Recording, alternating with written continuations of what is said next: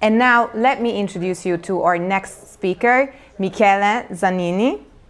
And Michele is the co-author of the Wall Street Journal bestseller, Humanocracy. And he is a co-founder of the Management Lab, where he helps large organizations become more adaptable, innovative, and engaging places to work. And with that, I yield to Michele.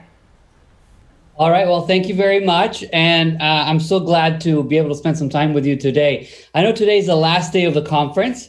Uh, and I'm sure you've gotten a lot of inspiration to date from uh, an amazing group of speakers. So I hope I can follow their act. And and given that today's theme is is one of change and how do we manage change, and you know we'll get to whether managing change is the right metaphor. I, I would have another one which I'll get to later. But I'd like to leave you with some practical notions for making your organizations far more capable and far less bureaucratic. And and these are ideas that uh, are drawn from the work that Gary Hamel and I have done over the last decade, and which we distilled in, in the recent book called Humanocracy. Uh, so let's let's get going. We don't have a ton of time, and I'd like to cover four things. First, I want to convince you that we need to have a radical change in how we're organized, how we uh, how you know, how we lead, and how we manage. Uh, I'd like to also share some insights we've distilled from organizations that have succeeded by you know innovating their manager model. Um, then touch on the importance of, of principles over practices uh, it's very important to think about the, the you know the values and, um, and and the paradigms that inform particular practices as opposed to the practices themselves. And the last thing, and perhaps most important, is just provide some advice on how do you go from here to there. How how do you move towards uh, a post bureaucratic organization? So as I said, a lot of lot of topics, not a lot of time. So I'll try to uh, move smartly through it, highlighting the the you know the key points you'll find uh, dealt with in much more detail in the book.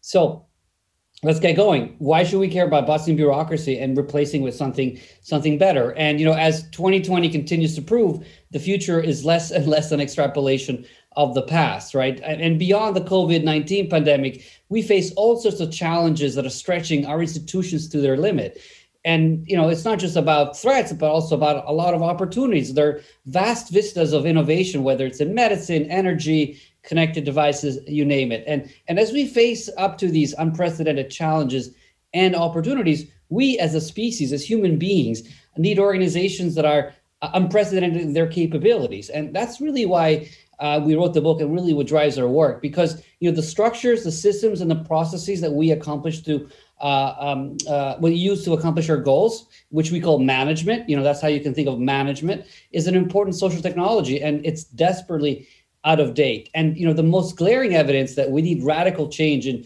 our organizations uh, is is that many of them are struggling to keep pace with all this increased turbulence. Right?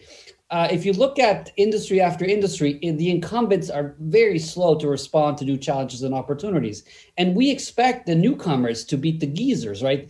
And and and and this is like, as I said, you know, something you see across sectors, across geographies. It, it's a it's a it's a systemic problem and and perhaps you know one uh, recent reminder of this is Zoom. I don't know if you know how Zoom started, but you know, Eric Yuan, pictured here, uh, who founded Zoom and is is uh, is a chairman, used to be the head of engineering at WebEx, uh, which is another video uh, video conferencing online meeting service that got acquired by Cisco. He spent in in 2010 a whole year persuading his bosses that he needed to reinvent WebEx for the mobile age, for the cloud age, and he just could not get a hearing. They just ignored him, and so he said, "Well, I'm just going to do this on my own." And you know, it was wildly successful, as we all know, right? And uh, there was a time in late October when Zoom was almost worth as much as the entirety of Cisco. Now think about that, 130 billion dollars. I mean, it's absolutely astounding. And this was like a, a, a something that Cisco could have uh, spearheaded, could have led, and yet they just kind of let let, let this idea uh, uh, go, and you know ha- now have to live with the consequences. Um, so part of the motivation driving our work and for writing the book is building organizations that can outrun the future. But there was also more personal kind of ethical reason to care about this uh, you know, because one of the reasons why organizations disappoint us is because they're hobbled by their inhumanity. And it's kind of a bold thing to say. Uh, but all the data shows that most people are just not bringing their best selves to work, right? Uh, and you've probably seen this engagement data from Gallup lots of times. This is their global average. So I won't belabor this. but only to say that it's pretty scandalous that only 15% of people are engaged at work.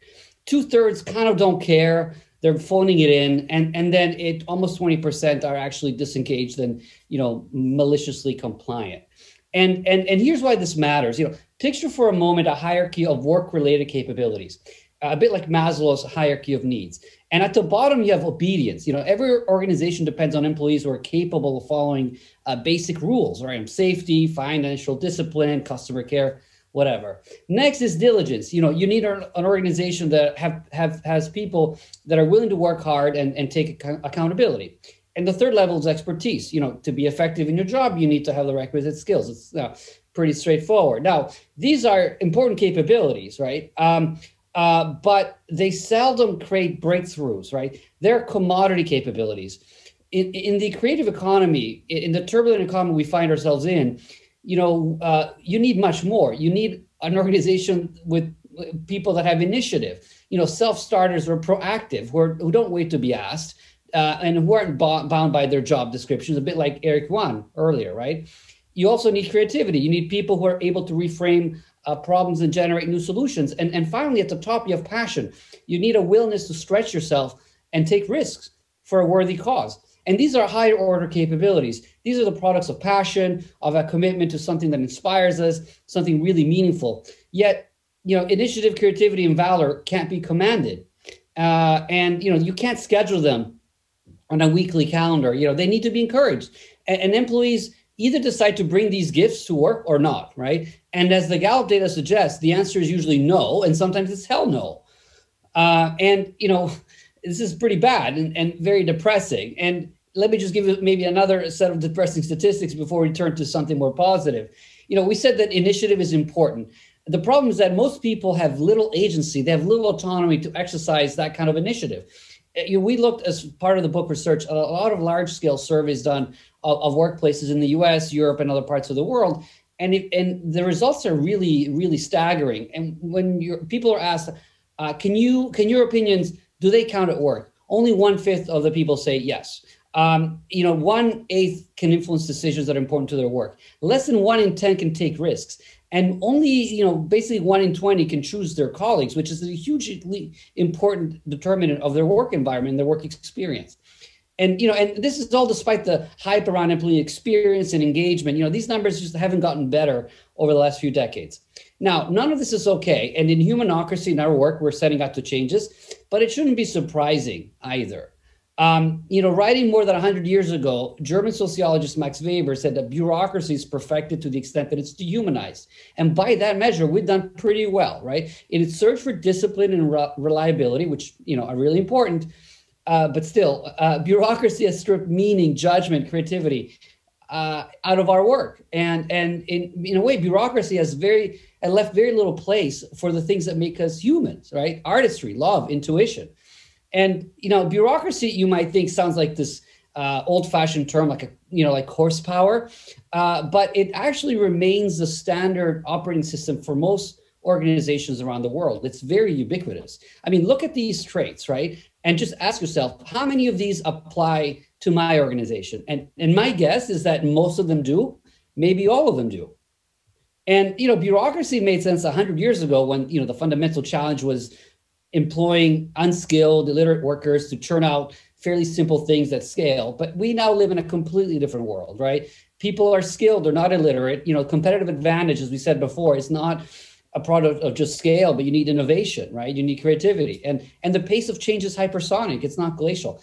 But you know, the way we manage our, our organizations has remained remained cemented in this kind of bureaucratic uh, model of 100 years ago. And you know, we've seen some amazing advancement in that time in, in for instance, how we how we drive, how or how cars drive us, right? Um, and yet the social technology of management, you know, the basic architecture of the organization is pretty much unchanged. This is a chart of IBM computer circa 1917, 103 years ago. And uh, you know, you could take the first three levels of IBM today and plot them on, on this chart, and it would actually work pretty well as a, as a depiction of how the organization works you know, and and that's yeah, that's pretty that's pretty uh, that's pretty sad.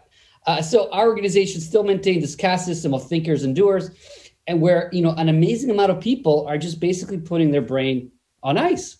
And it doesn't have to be this way. You know, when we look around the world, we have the qualities, you know, that uh, that we need in our organizations. We are we can be quite resilient, as COVID has shown us. You know, think about all the uh, amazing responses in, in um, um uh, by healthcare professionals, uh, medical staff, and so on in dealing with this crisis.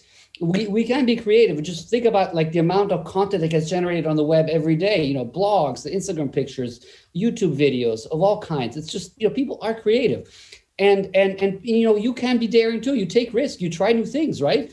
You you follow your passions, and and yet our organizations do none of that um, so we're left with organizations that are nowhere near as adaptable, as innovative, and, and, and energetic as, as the people working inside them. And this is a problem uh, both ethically for individuals working in there. It's a problem for the companies that employ these people because they're just not as good. And it's also a problem for society because we have uh, organizations where people are not being able to flourish in, and which create a less of a, you know, not a very dynamic economy, not a very productive economy. So we need something better.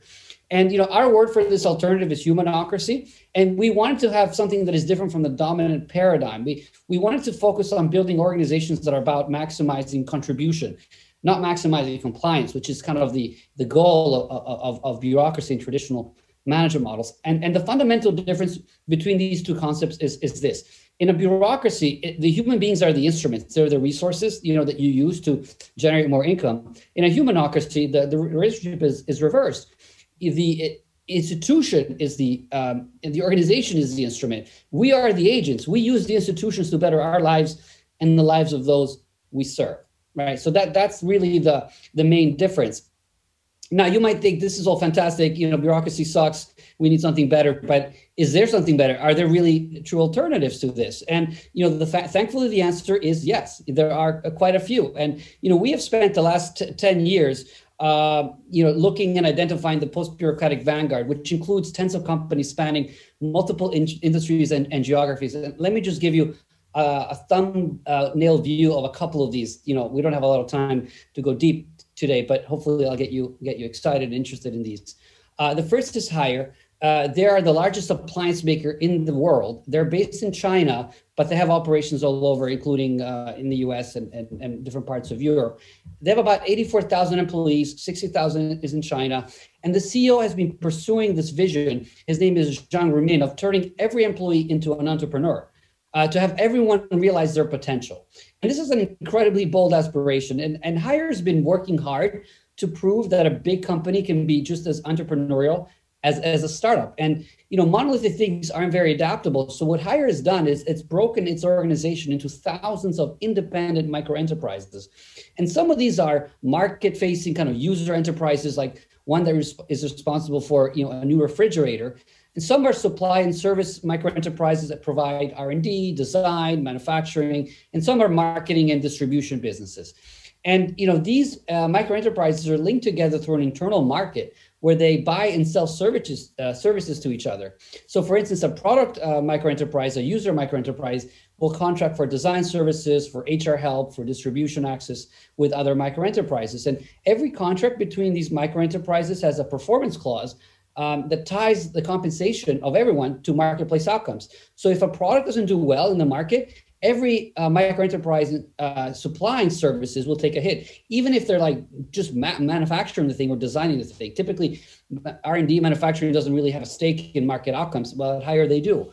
And so everybody's really, really focused on, on creating value for the customer. And critically, there are no internal monopolies. If, if a micro enterprise that's saying design or R&D can't find customers because it's not performing well, it just goes out of business. There's no internal demand for it. So it's pretty, pretty astounding astounding model. And let me give you something um, completely different. Uh, this is in Europe. It's called Buurtzorg. They're the leading Dutch provider of home health uh, services of about 16,000 uh, nurses and, and other care workers organized into more than 900 self-managing teams. And every team has a little territory of about 10,000 people that they're responsible for covering. And they, they're basically little uh, business owners themselves. You know, they are responsible for uh, finding clients, for renting space, for scheduling, for constantly improving the quality of care. And they have, you know, managerial roles, but these are distributed across the team. So someone is a part-time, you know, treasurer, another is a, a, part-time performance monitor, planner, developer, mentor, and so on. So these are, you know, nurses are that are playing who are playing these roles while at the same time working with patients. Um, and you know the administrative personnel at Buurtzorg, for it's a 16,000 person organization, but they only have 36 uh, people who are regional and head office coaches. They have 50 people that do back office uh, IT work, and two directors, including the founder Jos de Blok. So uh, incredibly lean management structure. And despite that, the organization has lower overhead costs, uh, lower turnover, and patient satisfaction is 30% higher than, than competitors. So they're incredibly efficient and disciplined uh, um, and, and innovative in the way they take care of customers, but without you know kind of the bureaucratic infrastructure that most people think is necessary for pulling that kind of a trick off. So these are just a couple of examples but when you look more broadly across the post-bureaucratic vanguard, you see uh, a common set of practices that are very different from the bureaucratic status quo that I mentioned earlier. And you know, here's a, a quick list uh, of some of the most important uh, practices that you can you can you can you can find in a lot of these companies. But you know, humanocracy, unlike other ocracies you might have heard of, like holacracy, sociocracy, and, and so on, it is less about specific practices and a detailed manual, like on what exactly the organization ought to work like. Uh, what's more important in, in, connecting these organizations together is less how they do, you know, what what they do, but how they think, right? Uh, and let me say a little bit more about this. Uh, as we study these organizations, we just ask ourselves, Gary, Gary and I ask ourselves, how do they end up with such radical practices? Uh, and you know, what we discovered is that they started with some very deep principles, deep ways of thinking that are very unconventional in, in the corporate world. And this kind of makes sense because you know in any endeavor you reach a point where you can't solve new problems with with old principles, right? Think about you know the uh, in the 18th century, uh, the people that were advocating for democracy and self government had to challenge things like the divine right of kings uh, and create a whole new set of uh, pro democracy principles like universal suffrage, freedom of the press, religious liberty and judicial review right and and similarly the principles of bureaucracy you know stratification standardization specialization and so on are great at solving the problem of efficiency at scale and compliance, but they're of no help when it comes to solving problems like innovation at scale, resilience at scale, engagement at scale, meaning at scale, right? In fact, they work to your disadvantage. So we need to go to first principles if we want to build organizations that are fundamentally more capable than the ones we have today. And, and the goal of humanocracy, as I mentioned before, is to maximize contribution. So what kind of principles would you start with if you wanted to build an organization that inspires people, um, to give their very best. And um, we distilled in our work, looking at these these organizations, these vanguard organizations, we we, we distilled uh, seven principles. And I don't have time, unfortunately, today to unpack these. We have a whole chapter on each uh, in, in the book. Uh, but there, let me just list them out. The first is ownership. You know, having everybody feel like they have a stake in the business and have the autonomy to to drive it meritocracy, making sure that you know influence is correlated with value added, not necessarily position in the hierarchy. Markets, you know, uh, using the allocational efficiency and the wisdom of the crowd of the market, as opposed to kind of administrative ways of uh, making decisions and allocating resources. Experimentation, just turning your co- company in, in, a, in a laboratory. Community, you know, deep bonds between people, right, that are just making you feel like you're part of something bigger openness, just opening up your mind, but also the company to ideas and resources across across the across the world. And then paradox, you know, being able to exploit and explore, to have efficiency and um, and innovation at the same time. You know, walking and chewing gum, something that bureaucracies aren't really good at. They typically focus on maximizing one thing, and it is compliance and control. So those are like the important principles. And and um, the work of reinventing management for this new age is really about taking these principles and then thinking about how do we use these, how do we embed these in the way we lead, manage, and organize. So you can think of, uh, of, of the organization as having a management model. So you're familiar with operating models, with business models. There's such a thing as a management model, and you know it's it's essentially a combination of, of systems and processes and structures and roles. You know the physiognomy and the physiology uh, of the organization. And so the idea is to, and when you look at these companies that I mentioned before, these vanguard companies, they all reinvent their ma- these elements of their management model in light of these principles. So, for instance, let me give you uh, an example to make this really concrete. Uh, with take the principle of markets. How would how might the principle how the you know the power of markets how would that inform the kinds of practices and processes that run your company? How do you leverage the wisdom of the crowd and the allocation agility of markets uh, to your advantage. And here are just a few examples. So when it comes to developing plans, maybe you create prediction markets for product sales. So instead of just asking for finance or the product manager, how do you think your product is going to do next next year? You just ask, you know, a lot of informed people in the company and perhaps even outside to get a uh, a, a collective view of what you know how they think the product is going to do. For allocating resources instead of having a soviet union style way of allocating resources which is like one pot of money allocated top down perhaps you have multiple sources of funding like silicon valley does. You know when it comes to uh, coordinating activities maybe you do uh, like Haier did and create a kind of internal market uh, and so on or even talent markets right? So instead of having talent being allocated in, in administrative ways by managers you know like say oh i need this kind of person i need that kind of a person create a more of a, a, emergent market where people find their find their roles and the opportunities in a very transparent way. So these are just some ideas, uh, but but that's what these companies have done. They've just interpreted the way they manage in light of these in light of these principles. So I I don't have a lot of time left. So let me just uh, close with a few thoughts on the migration path. I mean, we we talk you know today the topic is change management so like this is important right because i might have convinced you that bureaucracy sucks there are alternatives. Oh, yeah, and I need to find my own kind of way of doing this by applying these principles. But you might still be asking, how the hell do I do this? Like, how do I get from A to B? Especially if my company is a very traditionally managed one, right? And it's it's it's a tricky question for sure. Uh, and our experience uh, is that the companies that have embarked on this journey, and we feature some of them in the book, uh, um, and we have a great uh, uh, example of Michelin, which I can talk to you more about in the Q and A if you'd like. But but what they've done is all these companies that have made this migration, they've taken the tenets of traditional change management, traditional change programs, and kind of do the opposite, you know, because traditional change approaches are just not adequate. You know, uh, most of our thinking about change management still assumes that it's kind of an engineering problem, like building a bridge. You know, it's something that gets started by and designed by the experts, big wigs, you know, at the top. And with most people just executing a blueprint that has very prescribed, you know, means and ends, and has very clear beginning and end. Like change is kind of the episodic interruption of the status quo. So the status quo is stasis, and every once in a while we need to change, we need to do a reorg or whatever. And you know, we think that's just not a very good, helpful way to to think about change, especially when you're trying to change something that is really complicated, like an organizational uh, system, right? And and so we uh, think uh, we should do is stop talking about change management and rather focus on hacking management. And you know, by hacker, we don't mean the, the people that you know steal your credit card data, right? But rather the people that post uh, uh, brilliant bits of code on GitHub. Uh, and you know, they are um, people that you know were inspired originally by Linus Torvalds, right? Who in 1990 uh, created Linux, the Linux kernel. He was committed to busting the uh, monopoly power of Microsoft, and he said, look, here's an alternative model.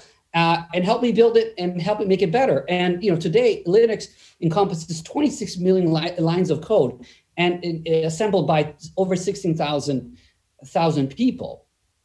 And I, you know, I find it remarkable that you know we all understand the value of prototyping products, uh, you know, lean startup thinking and, and all of that. But when it comes to um, to management practices, we think that the only way these could change is through some sort of divine revelation or CEO uh, kind of approval. And you know that's just not that's just not right. You know we can we can approach organizational change in a much more effective way. And let me get back to to Linus and let him let him speak to us.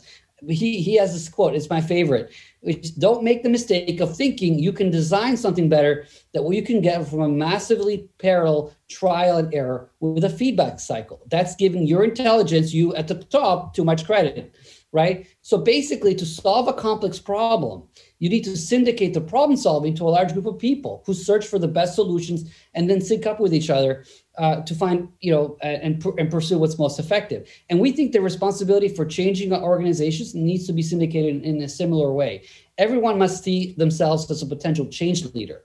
You know, and the, the task of rewriting the management code base, if you will, needs to be disaggregated. And you have to have small teams who are empowered to work and innovate on individual components. And that's why we call these kinds of changes to practice management hacks right? And if you want to build an empowered culture, you, you need a process that mirrors those values, right? You need a distributed, a kind of a cellular approach. You know, the, the way you break down bureaucracy isn't with some sort of giant reorg, but rather a swarm of, of hacks, right? A swarm of experiments. And, you know, uh, I mentioned earlier, I showed you this chart earlier. uh, of different ideas for how you change the organization's management model, uh, inspired by the principle of markets. Well, you know, in, in the work that we do with organizations and the way we teach people to think about management hacking, the, the, the challenge is once you have an idea like like the ones you, you see here, is to turn these into experiments. You know, as I mentioned before, you you think about like prototyping new products and services. You can do the same thing when it comes to management practices. Like that. In fact, a lot of the examples I mentioned earlier, you know, from Haier and so on, they look fantastic. But you know, those the practices they have today are the product of relentless experimentation. They didn't just kind of come up out of nowhere, right? So you need to work hard at this and be super scrappy and experimental, and it can be done, right? So think about, for instance, the idea of internal of, uh, VC funds or crowdfunding uh, uh, for new initiatives. You know, that's the, uh, applying the logic of markets to resource allocation. You can try, and we have examples in the book of uh, a group of people, you know, that tried uh, creating a crowdfunding platform. you know, with a hundred, an experiment with a hundred people, a few hundred dollars each you know, was given to each person to fund initiatives proposed by their peers.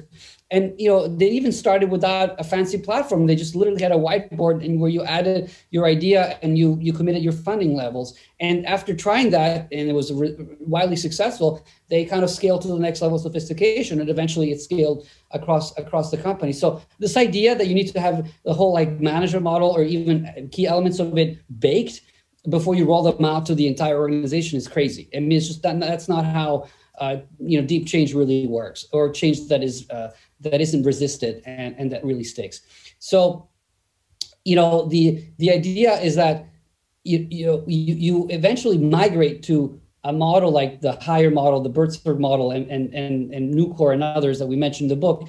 But it's it's a, it's an evolution, right? So you have a very bold aspiration. So getting to a humanocracy from a traditional organization might look very daunting, but it's something you do over time. So you have very uh, radical, in a way, aspirations, but very practical and evolutionary ways of getting there. So you have a portfolio of experiments which you run and you test and you scale the ones that work over time.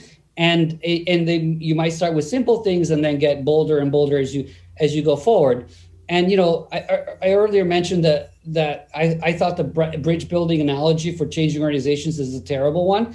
So let me give you one that I like more, which is metamorphosis, right? So think of the radical change that goes through a caterpillar, uh, uh, you know, uh, going to to become a flying insect. You know, it's it's it's it's incredibly um, it's a quantum shift, right, in, in function. Uh, yet it's the same organism, and it's entirely natural. It's not traumatic. And, and, we need more of this kind of change, you know, to finally bust bureaucracy and make organizations that are really fit for the future and, and for human beings, right? Uh, let, let, me give you one last uh, shameless uh, uh, uh plug before we go to, to Q&A. If you're interested in learning more about hacking management, I encourage you to check out our four hour course, which is called Hack My Org. It's with Gary and me and a bunch of other people that we interview uh, who are protagonists in our book, like the CEO uh, Haier, the CEO of Nucor, uh, a bunch of people from Michelin and, and Buurtzorg and so on. It's, we have lots of tools, content to help you and colleagues uh, you know, light the fire of management innovation in your organization. And right now, you can uh, basically get it for free if you if you purchase the book, which I think is a kind of a good deal. Uh, so I hope this was interesting and, and thought provoking and instructive. And and now we'll uh, uh, I guess turn it over to. Um, uh, to our friends at, at, Stretch Conference who are going to help manage the Q&A. Right. Uh, thank you for the excellent presentation. I think you packed a lot of information into a short period of time. So thank you very much for, for making it quick. Um, we do have some questions. Uh, first of all, um, what do you think is a good length for feedback cycle or on organizational change? So, am I supposed? Can I just ask you? Should I stay on the Zoom call, or do I need to move to? Um, For now, please stay with us here uh, in the Zoom call, and after we are done here, yeah, we will be expecting you in the session. Okay, so um, feedback cycles. Well, I mean, when you try these experiments, you need to be able to have a. Our challenge to the teams that try these things out is that you need to basically have results in 30 days uh, and not, you know, and spend, you know, thousands of dollars, not tens of thousands of dollars. And so we, you know, you you can try and find out um, whether you know ideas like you know crowdfunding uh, uh, work uh, without having to go and get a lot of sign-offs and approvals. Because if that's what you need, then you know it's not an experiment and it'll take you a long time. So you you, you can you can get very fast uh, feedback cycles. I mean, and that's how you, you need to evolve. I mean, otherwise it'll just take take forever. Um, all right. Um, so it what I'm hearing is that it entirely depends on the organization's needs. Is that correct? Yeah, well, it also, but yeah, I guess it depends what you mean. I mean, so I would say the following: you probably need to keep give yourself to, to for, tr- true change in the organization culture. You need to give yourselves f- probably years, like three, five, four, you know, five years, right? It's not something you do in six months. It's just not because you're changing something that is really complicated. So, so the arc of, of, of, the, of the journey is, is a long one, as it needs to be. But within that, you can try things that give you very short feedback cycles. And that's how you, you try new management practices. You see if they work, they don't. And then you abandon the ones that don't, or you pivot, and then you, you scale the ones that do. So you do lots and lots of, of experimentation uh, over that period of time. So it's, I guess, both long and short, if I if that makes sense. Right, right on different yeah. levels of abstraction i would i would say exactly. you have short yeah. experiments and then you have the large overarching um, yeah. we are turning into a humanocracy um, right it's and you know the thing that the thing that you can't do and you need to be honest about it is say uh, and I've seen this happen sometimes when co- company copy and paste agile models from another company, saying, "Oh, we'll just be agile in six months, and all we need to do is change the way we call each other. We, you know, call a supervisor a scrum master, and have squads and tribes and whatever." And somehow you think that that's going to change the culture in the organization, and it's kind of BS. It's not really, right? Right, right, definitely. Yeah. Uh, here is another question for you. Do you have some suggestions if your hacks slash experiments are blocked by some more traditional senior people in your organization. And in some cases, you are even strongly discouraged in continuing these experiments. Yeah, well, high um, management hacking or just innovation in general, being a maverick is a high risk occupation in a bureaucracy. I think the, the, the way you protect yourself against a, a career risk is, is the following. First, you know, try to create a bit of a grassroots network that is horizontal. Um, and if you get enough people to support what you're doing horizontally, it's really hard for the people at the top to kind of single you out and fire you or chastise you or punish you or whatever. We have a very good example in the book of Helen Bevan, who is a change leader in the National Health uh, Service in, in, in the UK. And she, she ran this process called Change Day, which uh, was all about getting people to focus on patient quality and improving patient quality. And she asked people to uh, provide a commitment, like what are, a pledge. What are you going to do to improve patient quality? And you know, it, it it ended up being an amazing event where like hundreds of thousands of people were contributing these things. She asked for permission to no one, no one. She just went ahead and did this.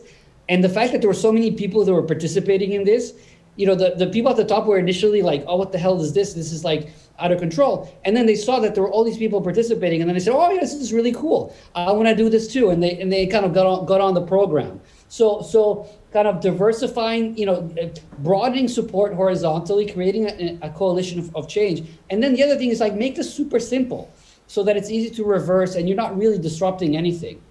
Um, maybe just if I just one other example we have in the book, and this is Greg Linden, the guy who um, at Amazon who invented the shopping cart. You know how you check out at Amazon before you check out, it says, you know, you might be interested in buying these other things. So he had this idea uh, 20 years ago of trying this online. Um, and his boss said, no, you can't, you can't do this. Uh, I don't like this idea because maybe people will be distracted and they'll won't check out, you know, won't complete the transaction. He went ahead and did it anyway because it was such a small experiment. He did it with only a subset of people and it didn't blow anything up. And in fact, it turned out to be really successful. And he ended up, Jeff Bezos ended up giving me an, an award for this. So anyway, so there are lots of ways in which you can de-risk this for the company and for, and for yourself. All right, sounds sounds like a great hack, if you please, to to create like a grassroots movement and and uh, kind of do what you feel is right. Um, here is another question. Based on your experience, who is tougher, old school senior managers or badly trained employees? both. I don't know. I don't know if they, they're both. It's both terrible. Uh, they're both terrible. I, I do think that badly trained employees is probably worse, just because there's more of them, uh, and and if you if you gave them the capabilities to do their job or to be innovative, they would make a huge difference. I mean, I, what makes me um, really upset is sometimes you know uh, uh, management asks employees, you know, what are your ideas for changing you know the business or whatever, and then the ideas are either super incremental or like crazy, and they say, oh, you know, well, this wasn't this was a waste of time. Let's not do this again. What they don't realize is that they're asking people for ideas without any context, without any skills. It's like saying, go, you know, you you you know, you, you never played golf. You're taken to a golf course. You're given a set of clubs, and he's like, go go play golf. You have the you have the clubs, go, and you don't you can't play well because you're not taught. So you can teach people to be business innovators. You can teach people to be um, management hackers, right? Which is why we built the course. And, and we found that when you do that, when you invest in those skills, and, and a lot of the companies we feature in the book do exactly that, you get an enormous amount of capacity that is unleashed. And, and when that is apparent, then management is like, oh my God, you know, we got to leverage this. And so, so for me, I think the leverage point, I'd rather, you know, upskill people and then see that management kind of catches up as opposed to trying to persuade management first. So that, that would probably be the way I would do it. All right. Um, I am wondering if uh, someone is here with us today and watching you talk and they really aspire to create a better organization uh, for themselves and, and within the organization, um, they need to buy your book and so they get access to the videos. But on a more practical level, um, while they are waiting for the book to arrive, what would you suggest should be their first step in creating uh, a better organization? Well, I mean, they can start with themselves, right? So there are basically three levels: yourself, especially if you're if you have people uh, working. Um, it's a terrible way of saying it under you, but if you have if you have employees that are your reports, uh, you start with yourself, you start then your team, and then more broadly your organization. So with yourself, you know there are you know sometimes you know bu- bureaucracy makes makes assholes of us all. Like you know it's it, it you know it it's it's all about power, and and so we sometimes do things that undermine our own humanity ourselves, and we don't realize that necessarily. So just like you know, Alcoholics Anonymous says this. Uh, as part of the detox, if you're an alcoholic, is to do a moral inventory like you know fall you know uh, you know where do you fall short you we we recommend people do the same with them with with themselves and say what are how am i you know in the last week or last month how have i behaved like a bureaucrat and and, and not a not a leader? Have i undermined other people? Have i not given enough uh, trust to my employees you know because i just you know i thought that they were in- incapable? Did i just pad the budget? Uh, you know did i um, uh, take credit for something that someone else should have gotten credit for. So, so the, it starts with, and, and we have some tools, and a lot of this, by the way, you, if you go to the website humanocracy.com, some of the stuff is even outside of the outside of the course, so you can just access it freely. So, and this is one of them. The, the other thing you can do is then within your team, just think about like how do you share your power? What are the things that you can um, uh, you can delegate to to your team? You know, maybe it, or, or, it's not just about delegation, but even just involving them in decision making. So, you know, how should we think about the roles in the, in the team? Can we have the employees play more of a role in, in, in, crafting that? How should we set priorities? You know, what is our what is the mission of our team? Do that together. Or, you know, if there are interdepartmental inter, interdepartmental meetings, send an employee instead of you. You know, have the person step up and give that person full accountability and power to make decisions on your behalf. And so, you know, you can change things within your perimeter. So first is that your mental perimeter, then your organization, you know, your departmental perimeter, and then start to reach out outside and find people like you uh, who are your peers, perhaps, uh, and and try to stitch together this coalition. Uh, so there's a lot you can do, and you know we're we're not powerless. We sometimes think we are, uh, but if we stop and think about it, you know, there's a lot we can do. Perfect, perfect. Thank you so much. Um, we have a few more questions, but we are um, running into the break. So um, as far as I know, you will be joining us for the question and answer session just right after um, we hang up here in the virtual sense. Okay. Before we do that, I would love to show you this mug that we will be sending you via the mail. Um, oh my goodness. I hope you can see. It's a stretch mug. And um, so we can be with us for a while. Um, I thank you again for joining us and for this insightful presentation.